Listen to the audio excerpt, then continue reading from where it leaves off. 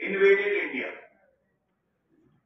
कथित तौर पे उन्नीस सौ बासठ में, कथित तौर पर उन्नीस सौ बासठ में चीन ने भारत पर आक्रमण किया।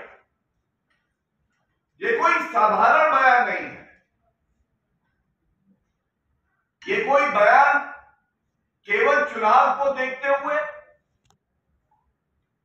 क्या अपना चीन प्रेम ज़ाहिर करने के लिए नहीं। ये तो चोट है भारत की अखंडता पर।